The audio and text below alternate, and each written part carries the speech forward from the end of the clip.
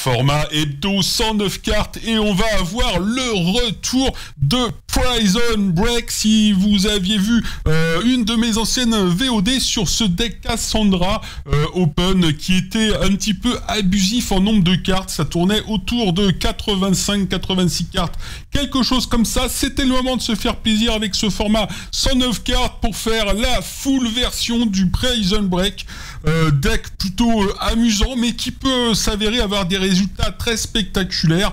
Euh, donc on va voir un petit peu ça. Euh, le héros Cassandra, les événements, euh, voilà, classique semaine d'entraînement, jour de chance parce que c'est le moyen finalement le plus simple de se défausser d'une singularité cosmique, d'autant que on va vraiment le jouer comme un Cassandra Fortune avec très peu de spells, donc c'est pas le moment de mettre la nuit de la lune montante là-dedans. D'ailleurs, on va tout de suite aller voir les spells en question.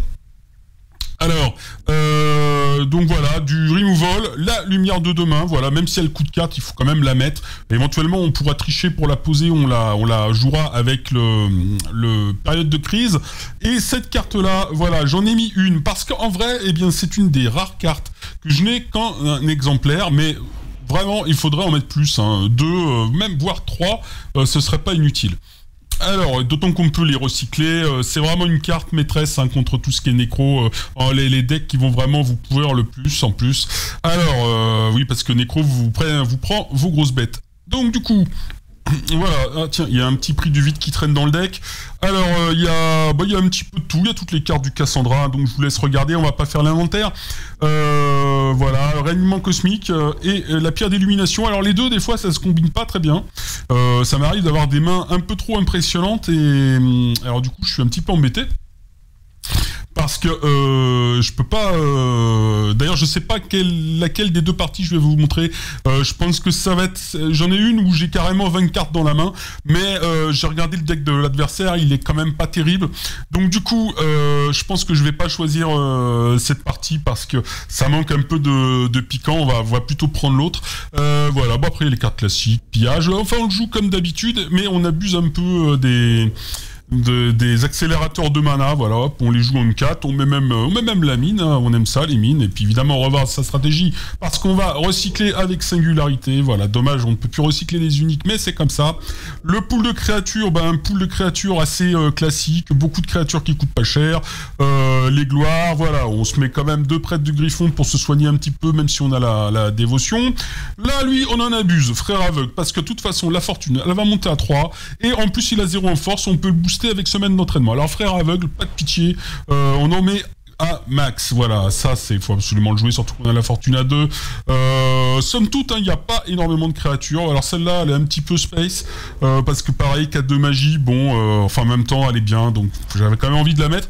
Alors, on s'arrête à 4. Alors, ouais, on, le joue vraiment de façon classique, je dirais. En 4, euh, d'habitude, Cassandra, c'est 4, 1, 5. Bon, alors là, on va dire, allez, on fait du, du 4, 4, 2, 5, euh, 4, 2, 4, parce qu'on n'a qu'une prison. Et le 4 de magie, je le compte pas tout à fait, parce que c'est vraiment très ponctuel et on peut tricher euh, pour le jouer. De toute façon, euh, dans les c'est pas handicapant, vous voyez, qu'il que deux cartes à 4 de magie. Ça se trouve, on va utiliser tous nos manas, on aura le temps, on aura l'occasion de monter ça euh, même un peu plus tard dans la partie. Allez, j'ai assez parlé, on passe tout de suite à la game. Alors j'ai oublié de le préciser, mais tous les decks que je vous montre, euh, vous avez les listes sur même Docking. D'ailleurs, je vais sûrement euh, mettre les liens dans la description de la VOD. Par contre, contre, euh, c'est pas forcément exactement les decks tels que je les, je les joue, parce que entre le moment où je fais la liste et le moment où je fais le deck définitif, euh, bah il y a peut-être quelques petits changements, quelques ajustements. Euh, donc là, j'ai choisi de jouer la Goldmine plutôt que le Quester, bah oui, parce que de toute façon, euh, je préférais rentabiliser mes manas. Ça fait le même effet, ça peut pas se faire remove, et en plus, il y avait l'événement anti-créature, donc c'est très spécial. Euh, mi AL 80 860 000, oula, carrément. Euh, euh, va nous jouer un deck Adar Malik Mass Rage, carrément. Euh, une stratégie très originale. J'ai regardé son deck, fort bien construit. Euh, on sent qu'il y a quelqu'un d'inventif à l'œuvre. donc va falloir essayer de se dépatouiller. Donc à, ce moment-là, je ne sais pas si encore je suis au courant que ça va être du Mass Rage. Peut-être que j'ai regardé dans le, dans le cimetière pour avoir confirmation. Voilà, donc le petit caster, il va attaquer pour 0. J'ai 6 mana. Voilà, le petit problème, c'est que j'avais beaucoup de mana, mais pas grand chose pour améliorer mes stats. Là, voilà, je vais pouvoir poser le trésorier et je vais pas pouvoir jouer la lune. Ah oui, non, je vais quand même pas mettre la lumière de demain au cimetière. J'ai mal joué là, il aurait mieux valu que je recycle directement l'avant-poste. Bon, j'ai peut-être imaginé qu'il me mettrait plus de bêtes que j'en contrôle, mais c'était totalement dérisoire comme calcul, donc très mal joué de ma part. Alors du coup, mes événements là, euh, ils servent plus à rien puisque le massrage fait attaquer avant qu'on puisse les activer et il commence directement. Décidément, lui, il a vraiment de la chance.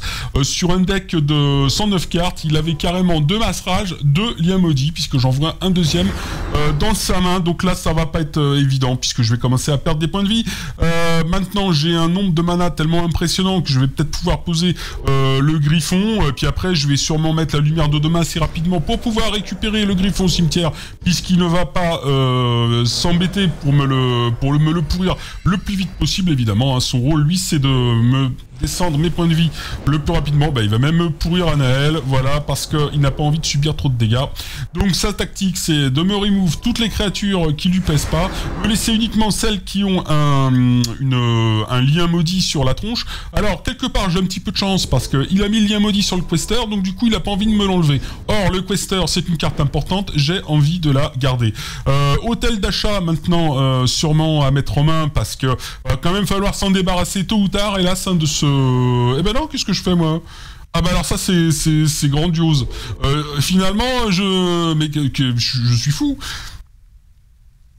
Ah bah je vais chercher. Ah je ne peux pas jouer. Oh je ne peux pas jouer l'hôtel d'achat. Ah oui, voilà, je m'explique. Je ne pouvais pas jouer l'hôtel d'achat. Je n'avais pas assez en fortune par un biais détourné. Je vais prendre la période de crise pour aller le chercher. Alors là c'est grandiose. Bon par contre hein, j'ai plus mon, usine à, mana, mais ce n'est pas grave. J'ai encore le quester. Je me suis accéléré avec la gold Donc de mon côté ça va très bien. J'ai deux points d'avance. Voilà, il me le repourrit. Mais heureusement j'avais habilement monté la magie à 3 avant ce temps-là. Et maintenant on devine aisément ce qui va se passer. Ça va être la lumière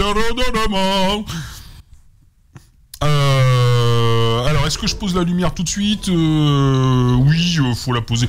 Voilà, je récupère le prêtre, mais il vaut mieux reposer la lumière parce que euh, parce qu'il vaut mieux la reposer parce que c'est comme ça. je suis pas en urgence de point de vie là. Oh là là, non mais qu'est-ce que je branlouille là Bon bah c'est pas très malin ça. qu'est-ce que ce que je viens de faire là Bref, faut pas copier ça. Hein. Faut pas le refaire à la maison comme on dit. Alors. Du coup, il me laisse ma petite créature. Ah, elle n'a que deux, points de vie, mais il va quand même le... Alors c'est vrai que du coup j'ai pas envie de me la, la re-soigner là. Si je repose le prêtre du griffon, euh, je me dis vaut mieux pas la mettre à côté. D'un autre côté, si je la mets à côté, ça peut l'inciter à faire une boule de feu, mais c'est un peu moins rentable pour moi. Je perdrais quand même un point de vie par tour.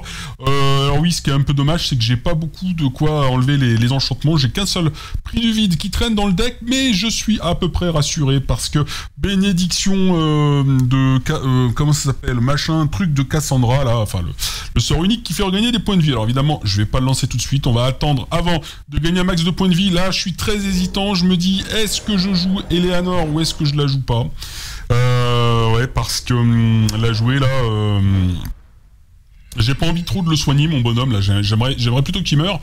Euh, du coup, j'ai pas joué le quester parce que je n'ai pas envie d'encombrer mes lignes avec des créatures qui font pas du dégât. Bah voilà, il libère mes lignes. Ah bah, bah, bah alors dans ce cas-là, ouais, je sais pas trop pourquoi il s'est à faire ça. C'est des créatures qui tapaient pas. Ah, un arbre. Alors, ah, malédiction ah ouais, non, il a, il a vraiment pensé à tout pour me forcer à, le tuer le plus vite possible. Euh, je suis drôlement embêté, là. Euh, alors, je choisis d'enlever le masserage. Dans un premier temps, ça peut être intéressant, d'autant qu'il en a mis un autre au cimetière. Donc, du coup, mon gars, va falloir que tu te débrouilles pour en piocher un autre et me le remettre. Mais en attendant, je suis à peu près safe. Euh, cet ange, j'aimerais bien pouvoir le sacrifier. Euh, S'il pouvait attaquer cet arbre le prochain tour, mais non, parce que l'arbre est en fâcheuse posture.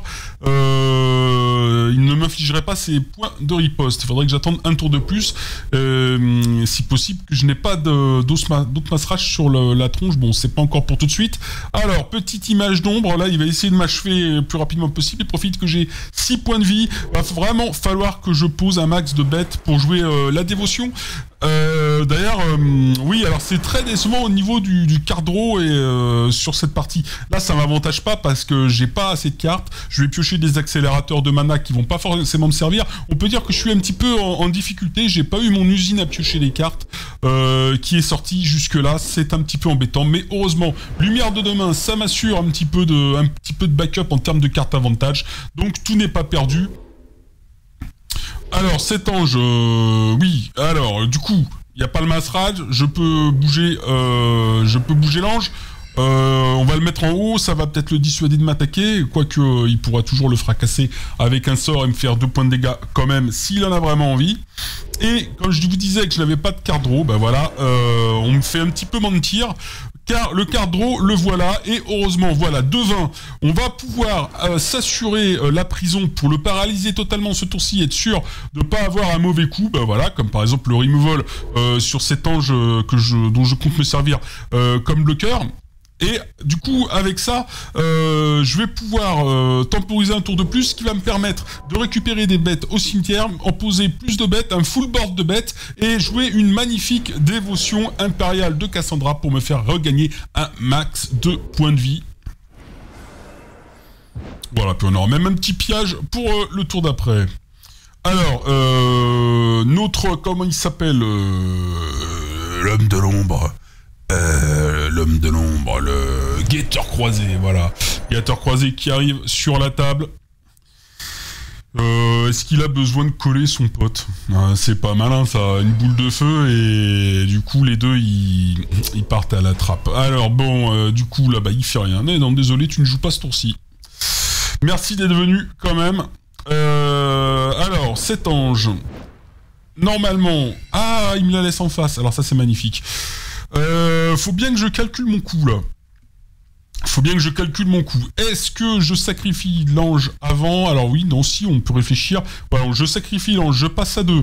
Euh, je peux mettre des lignes, euh, je peux mettre le capitaine du loup ici, voilà, parfait. Euh, et ensuite, j'aurai deux tireurs, ma merveilleuse Eleanor et le prêtre du griffon. Voilà, on va dégager l'autre ligne là-bas, donc la dévotion de impériale, je peux la jouer tout de suite, je pense je la joue tout de suite ou plus tard? Bon, ça revient un petit peu au même. Euh, oui, bah, je suis en train de me prendre la tête à réfléchir à ça, là, en fait. Euh, comme con, on se prend la tête un peu connement des fois. Bon, alors, euh, de toute façon, que je fasse l'un ou l'autre, ça revient au même. Même à limite, vaut mieux la jouer tout de suite. Mais non Oh merde Ah Oh, le coup de Trafalgar Oh putain, le con, j'avais complètement oublié que c'était une image miroir. Alors du coup, je gagne un point de vie en moins. Mais vraiment, mais alors je suis vraiment une pignouf là. Euh, sur des plans comme ça, ouais, j'avais complètement oublié euh, ce petit détail. Alors lui de la lune montante, ouais, c'est sympa, mais j'ai pas envie de me mettre Eleanor au cimetière. Quoique si je la mettais au cimetière, euh, elle reviendrait. Bon, finalement, voilà, je me débarrasse de, de l'autre là, au cas où il met un autre masserage. J'ai plus le problème, mais en fait, je sais pas si c'est spécialement plus intelligent parce qu'il joue en ligne de chantilly, donc il va pouvoir le récupérer du cimetière. Voilà, euh, puis après, bah, je sais pas, on peut peut-être poser la gold mine, ouais, pourquoi pas. Euh, je la garde peut-être en main pour la recycler avec un jour de chance ultérieur. Oui, c'est peut-être plus intelligent pour piocher une carte active. Du coup, de son côté, bah, je pense qu'il va bien se faire plaisir. Quand je vois sa main euh, entre les, ossuaires, alors je sais plus s'il a beaucoup de cartes à deux au, cimetière. Ah, il a des choses cactus. Euh, il va pouvoir me paralyser partout. Bon, enfin bref. Par contre, comme j'ai joué le pillage, euh, il est fort déconfit. Et oui, j'avais un petit peu oublié ce détail c'est un peu le but du Cassandra en même temps. Hein, donc, euh, ouais, là, il est, il est dans le caca un petit peu. Bon, en même temps, euh, il va pas mourir au prochain tour encore, mais, mais, mais, mais, mais, il va pas pouvoir faire grand chose à part me mettre de la paralysie, me mettre une chose cactus ou je sais pas.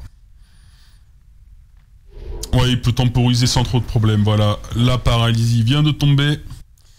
Et je pense qu'il va sûrement mettre euh, la chose cactus. Euh, et non, il pioche. Euh, bah, il peut utiliser son adore pour mettre une chose cactus. bon. Pourquoi pas Et du coup, il n'a pas l'opportunité d'utiliser son sa fortune là, qui dit sacrifier une créature, gagner 3 points de vie. Donc c'est assez bien pensé. il va sacrifier des guêpes, des bêtes qui sont sur des ossuaires pour regagner, faire un petit peu de régène de points de vie. Alors là, j'ai de la chance puisque j'ai un deuxième pillage. J'ai de quoi Euh, oui, donc avant de jouer le Phoenix, oui, alors j'explique pourquoi.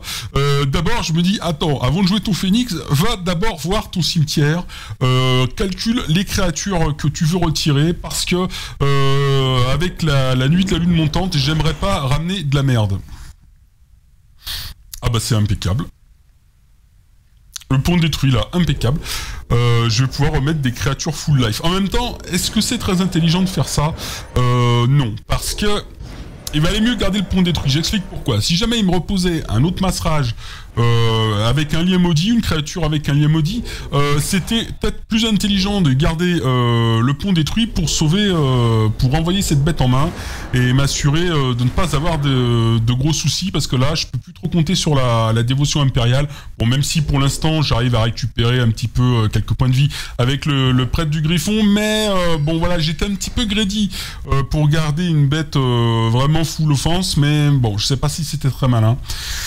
Euh, bon, j'ai pas de chance là, puisque en plus j'ai pas la semaine d'entraînement euh, qui apparaît là, ce serait quand même un petit peu l'occasion. Alors voilà, il a un autre passage en main. Alors, je pense qu'il va peut-être pas se gêner pour le poser. Ah bah si, il va se gêner, parce que justement, euh, le problème c'est qu'il est toujours sous astreinte. pillage, voilà. 12 mana transformé en 6. Bien fait, monsieur Adar Malik ça vous apprendra à faire le malin avec euh, les pays de la lumière, de la loi, de la justice et de l'héroïsme. Vous, le vil, le mécréant, le méchant. Avec euh, votre, euh, votre grille brochette. Voilà, et en plus, il s'est fait mal lui-même en posant une bête avec son truc anti-bête, alors que moi, suis complètement monstrueux, j'ai 18 mana, il en a avec 12. ouais, bah bien fait. Alors, on va pas reposer les casters, on va reposer, on pourrait aller chercher une bête unique. Oui, ce serait bien, mais, mais, mais, mais, l'inconvénient, c'est que ça va m'occuper la ligne et j'ai toutes mes lignes occupées sur le board. Donc, cette bête unique, le problème, c'est que je ne saurais pas où la mettre. Donc, on va attendre qu'il me clean le board pour aller la chercher. S'il veut bien. Et là, je pense que ça sent pas bon du tout pour lui. Euh... Oui, ça sent vraiment pas bon. Euh, aïe aïe aïe, là il en a plus, il en a plus que pour un tour. Ah bah finalement je la joue cette Goldmine, oui bon. Oui, je pourrais toujours me recycler des, des questers, mais j'aime pas trop ça parce qu'avec la lumière de demain, du coup, ça me donne une chance de les ramener. Donc, euh, c'est pas vraiment ce que je recherche. Voilà, il est full mana. Il est full mana maintenant. Qu'est-ce qu'il va pouvoir en faire? Euh, Ça, c'est la question. Euh, il a pas tant de removal que ça. Il peut poser un autre assuaire. Mais je me rends compte que ce sera pas suffisant. Hein. 13, 13 points d'action là. Euh, vous pouvez l'en est. Euh, je le sens pas trop. Bon, il réfléchit. Euh, bon, j'ai pas spécialement trop envie de réfléchir à ma place. Ouais, il pioche. Voilà, un mana de moins, mais c'est pas grave. Il récupère avec le Tador. Comment il va pouvoir bloquer tout partout là? Je vois pas trop. En tout cas, il va pas pouvoir remettre le. Il pourra pas mettre le... Non, il abandonne. Et ouais. Bon, alors on va pouvoir passer à un autre deck 109 cartes. À tout de suite.